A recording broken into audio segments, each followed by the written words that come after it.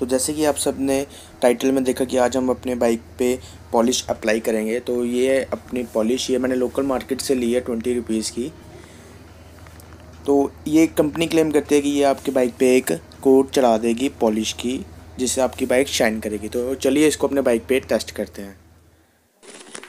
Subscribe कीजिए customise bike का YouTube channel को और बेल आइकन दबाइए हमारी लेटेस्ट वीडियो सबसे पहले देखने के लिए।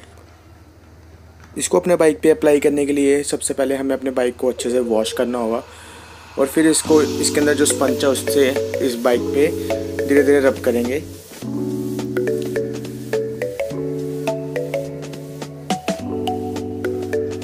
अभी बाइक की कंडीशन आप देख लो, कुछ इस टाइप की है।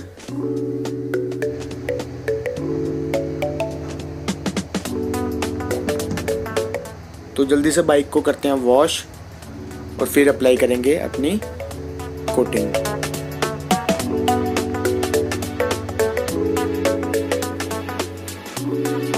मैंने एक बार पहले बाइक को वॉश कर लिया है, क्योंकि मैंने देखा कि वो जो मेरा कैमरा था, वो अच्छे से रिकॉर्ड नहीं कर पाया था उसको तो मैंने फिर से एक बार फिर आपके लिए वापस से इसको वॉश कर रहा हूँ।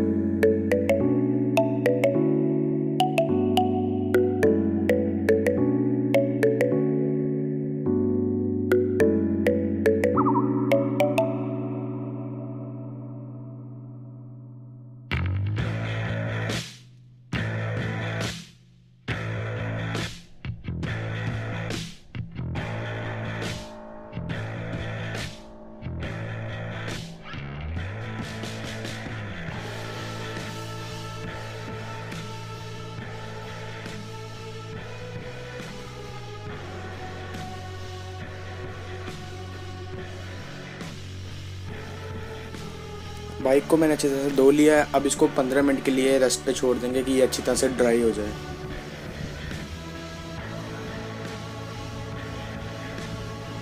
अब मेरी बॉडी ड्राई हो गई है। तो अब हम इस पर जो हमारी पॉलिश है, उसका जो कोट है, वो अप्लाई करेंगे। तो ये रही पॉलिश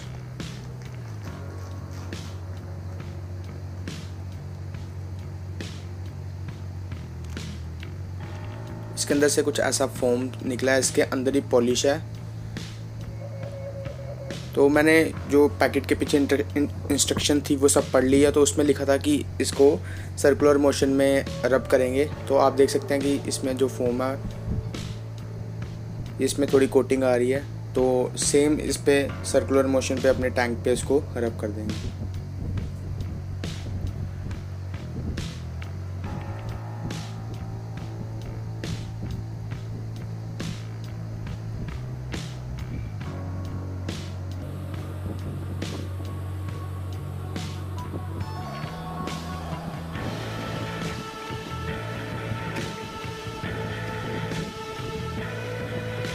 अब इसको पूरी बाइक पे अप्लाई कर सकते हैं। अप्लाई करने के बाद आपने इसको 15 मिनट्स के लिए ड्राई होने के लिए छोड़ देना है।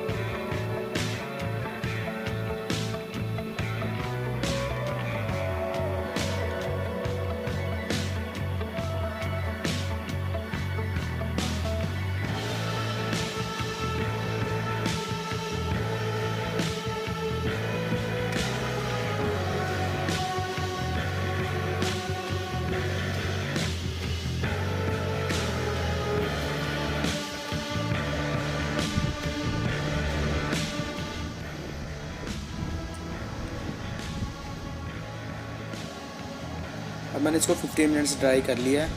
तो आप देख सकते हैं कुछ कंडीशन ऐसी है।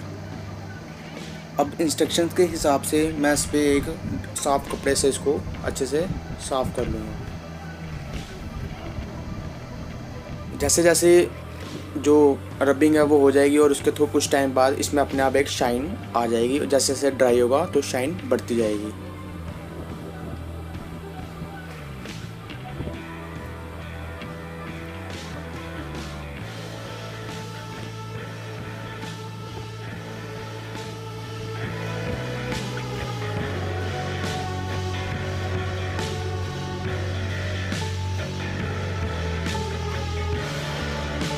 अब आप इसके सिनेमेटिक शॉट्स इन्जॉय करो और मेरे को कमेंट में बताना कि पॉलिश में इसमें कोई डिफरेंस आया कि नहीं? पॉलिश अप्लाई करने से बाइक पे।